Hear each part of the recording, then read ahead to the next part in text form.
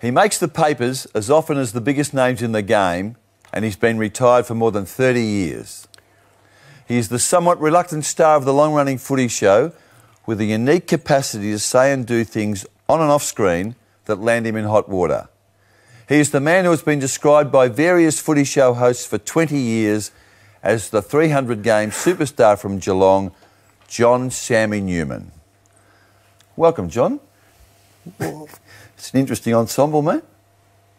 Oh, thanks for wel- welcoming me, Mick. And what do you mean it's an interesting ensemble? Well, the shorts, the shoes. Oh, coming from the uh, house model for the Brotherhood of St Laurence. What's, what's wrong with what I'm wearing? I knew you'd say that. I knew.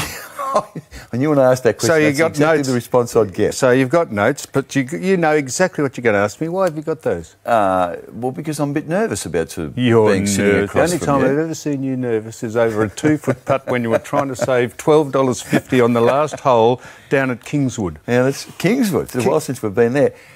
How are you travelling in your Does it matter how long 67th year, hey? old timer? How are you travelling in your 67th year? Slowly, very slowly, Mick. You look well.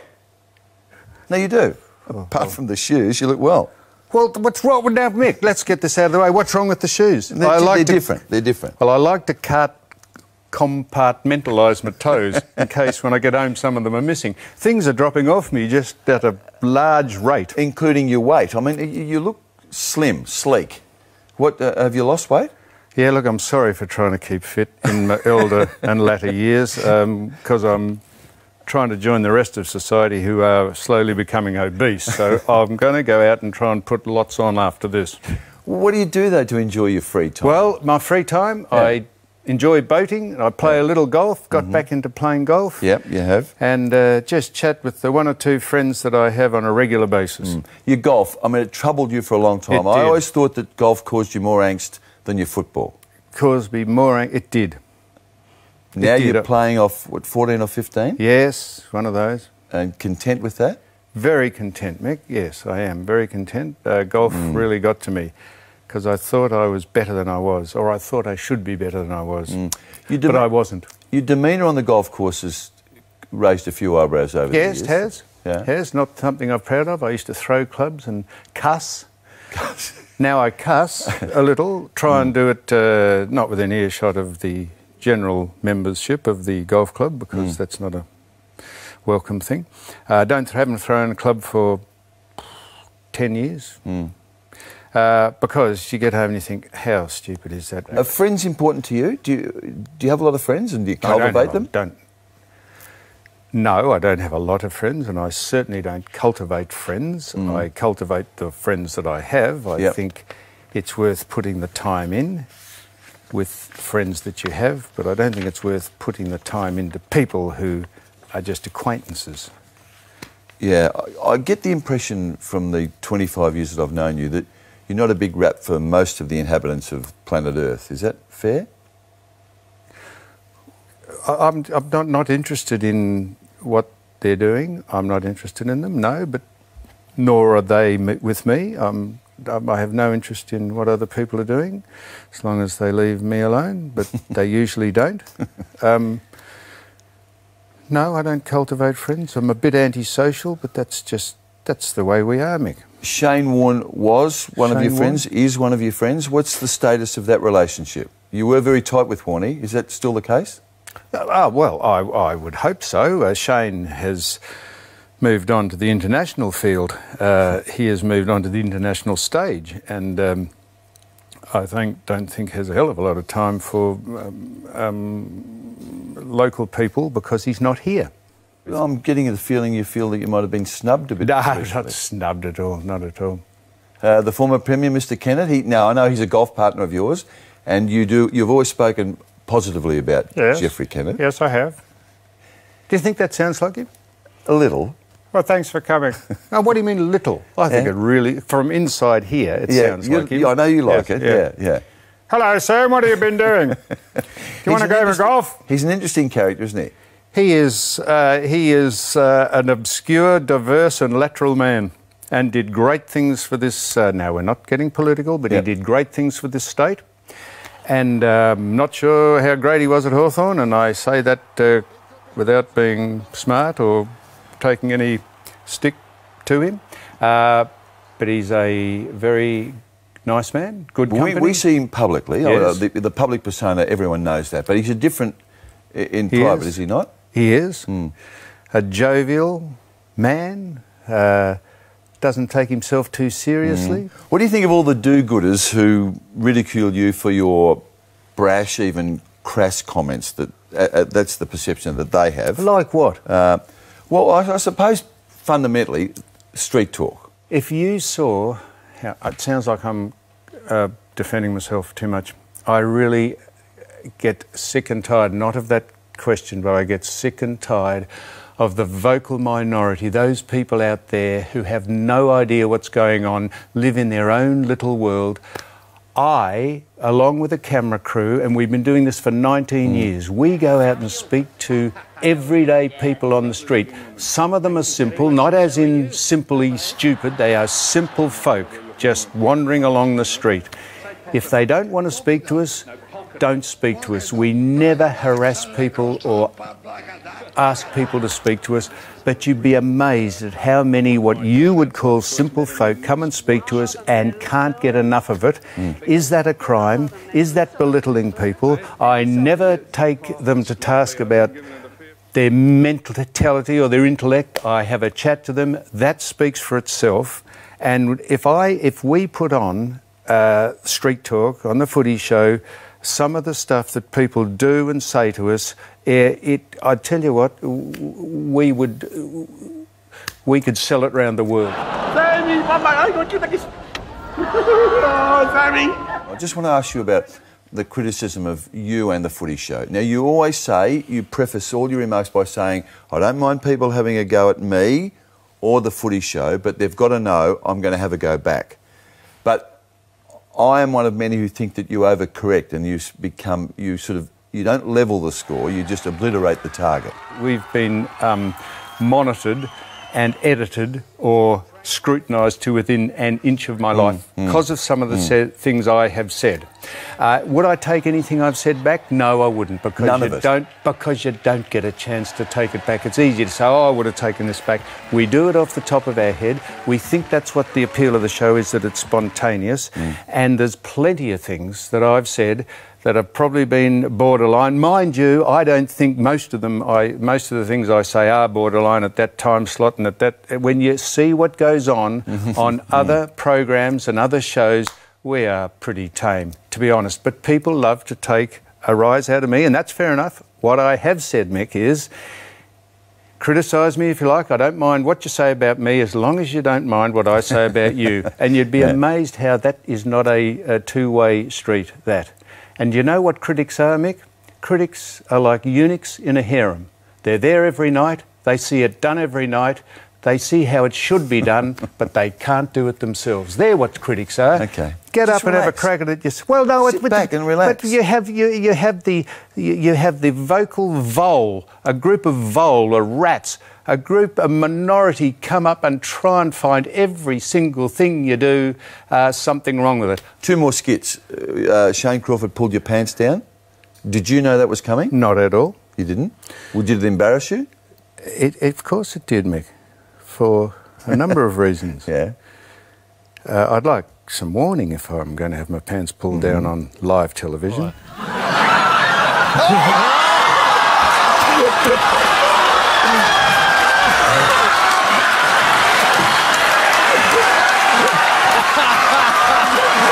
David Schwartz have any notice that he was going to get a pie in the face?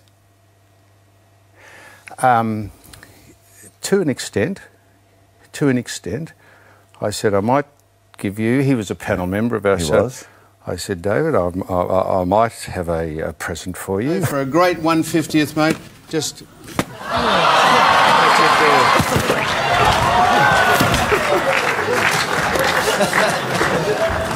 The boy sprang up, and only due to my magnificent physical condition did I not uh, spend that summer in a wheelchair. Well, People forget that you were a very good footballer, I think. Your citation in the Australian Football Hall of Fame is, to my view, modest. It says, quote, one of Geelong's finest ruckmen, a courageous player who overcame serious injuries and later became a media star.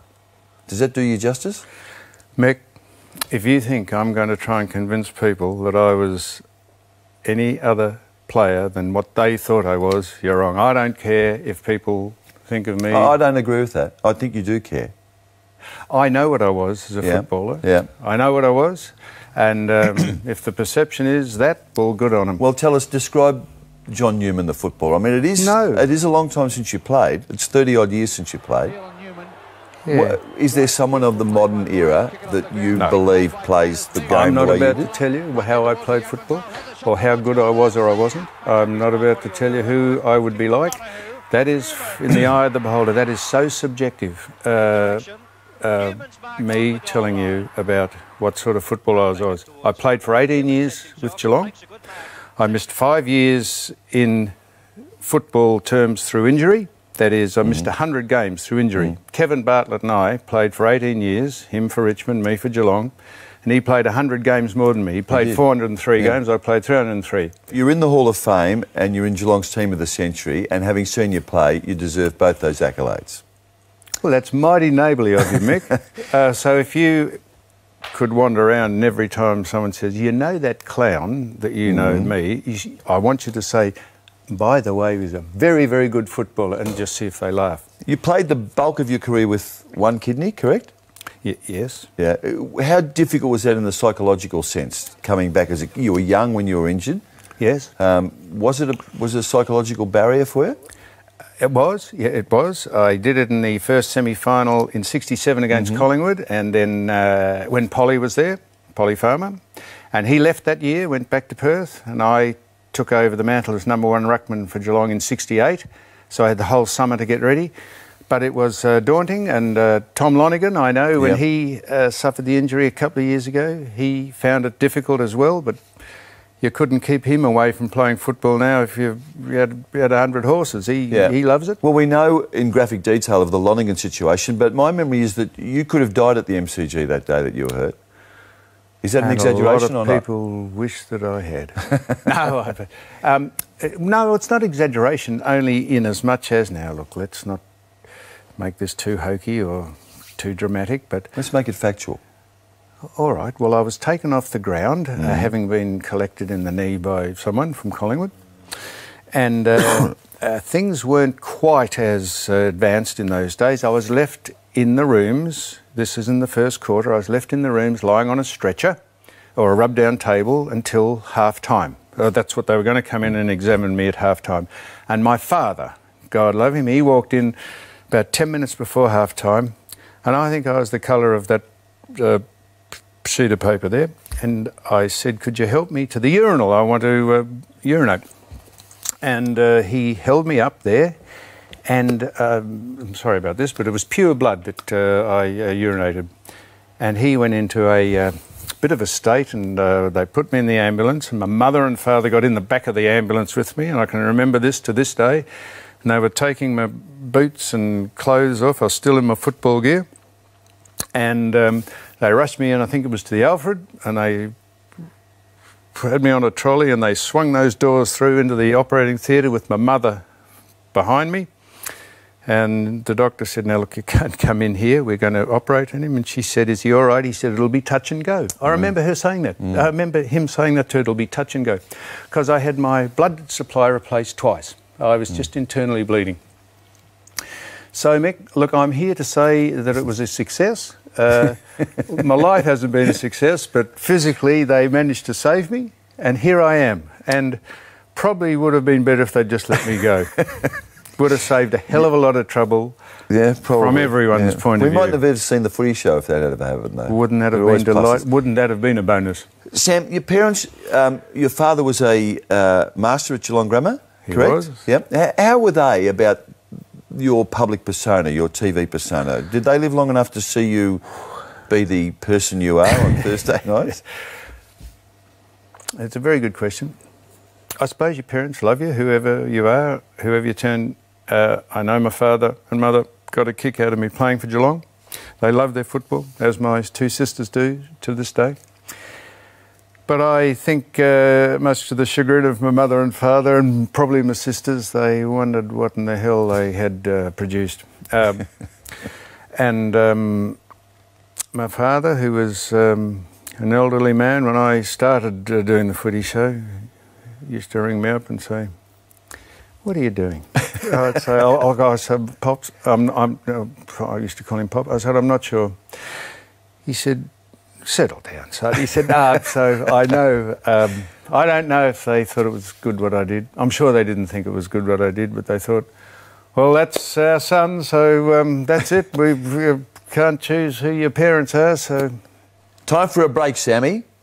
When we come back, I've got plenty more for you, including who was the better of the Ablets and your thoughts on the modern game.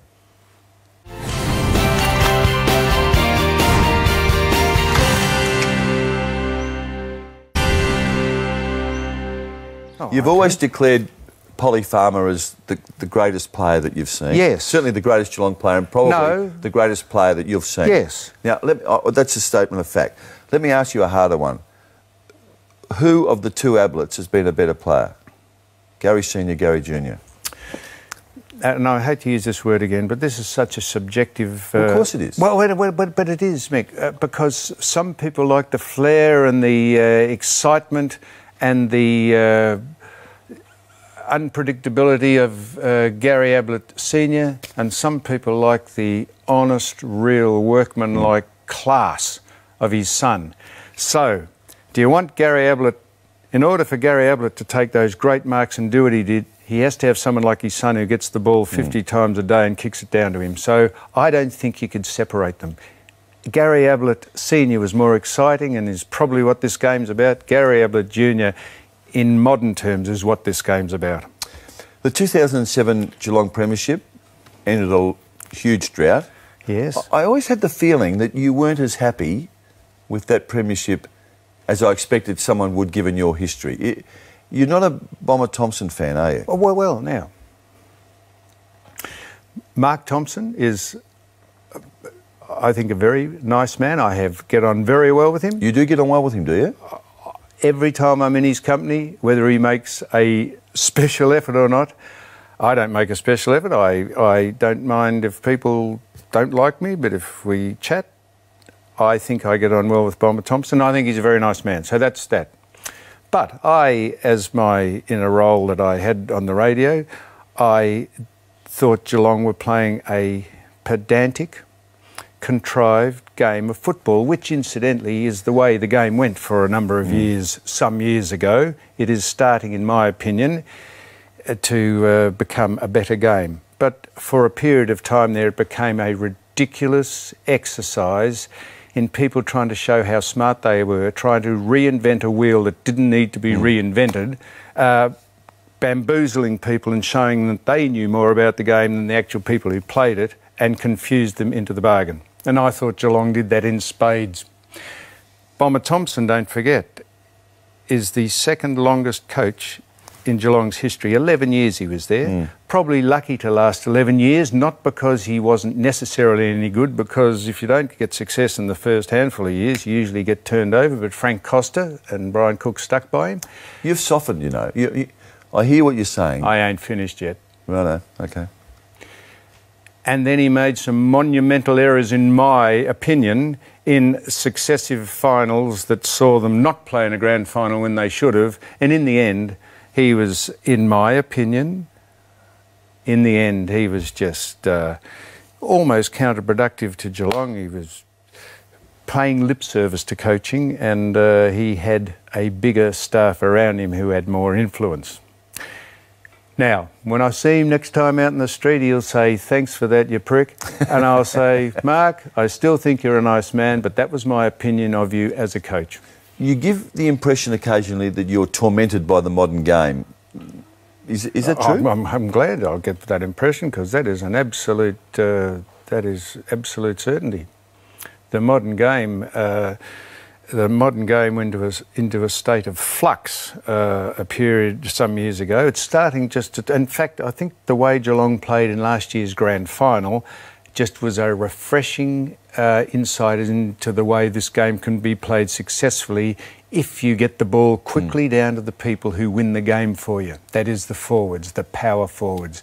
And you'd be amazed at how many people that come through the portals of the footy show the Jonathan Browns, the Nick Riewoldts, the Barry Halls. Uh, there's just singular boys, those incidentally. Um, Thank you, Gary Ayres. The, Camry, the Cameron Moonies. When he, and the first question I always like to ask, I said, does it confuse you when they don't kick the ball to you? They say the one thing we want them to do when they get it near the centre of the ground is kick it to us first up because we are good players. They don't say that, but they are good players and more often than not can beat their opponent one out. But, and that's why the game got into a state of confusion. But let me ask you one thing about that. I agree with that. And I've, I've expressed the same view several times. But if there were a simple way to play this game and win it, why wouldn't 18 coaches be doing it? Well, m- m- m- maybe they don't have the personnel to do it. But people, you've got to play to your strengths, not to your weaknesses, surely.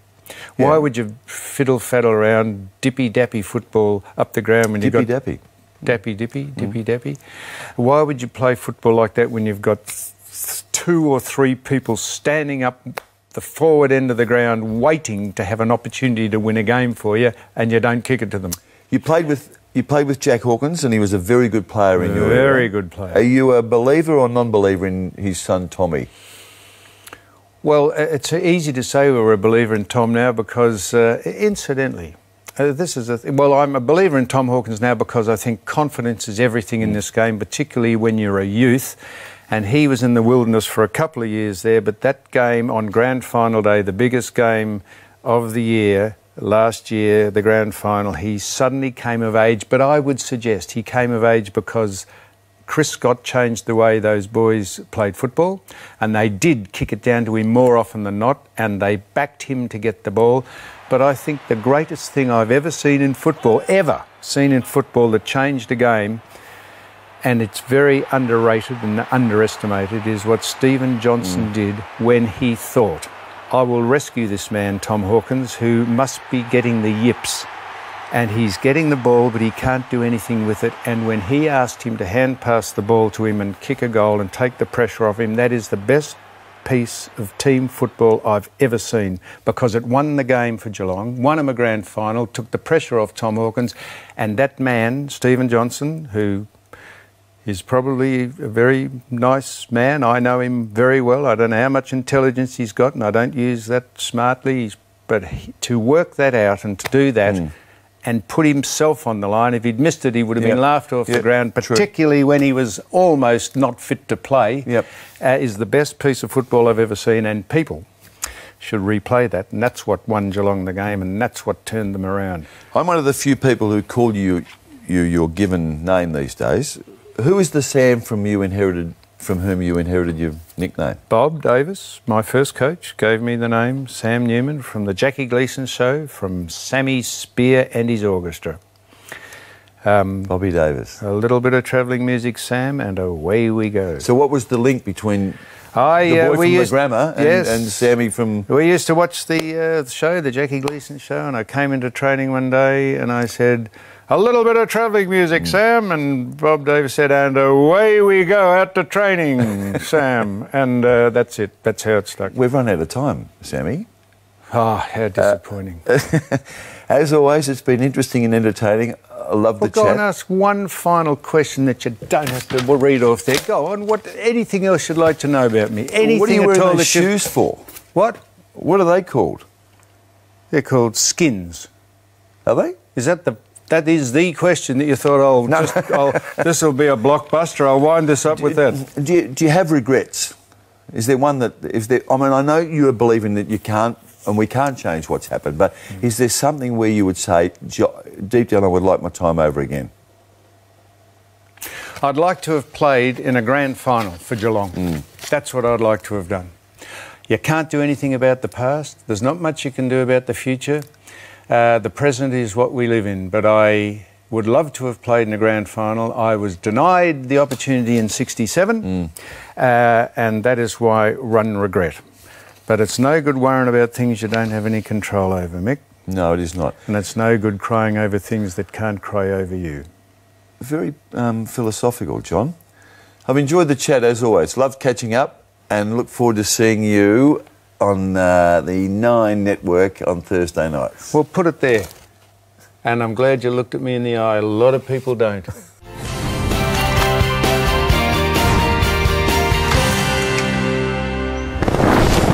this has been a Fox Footy production.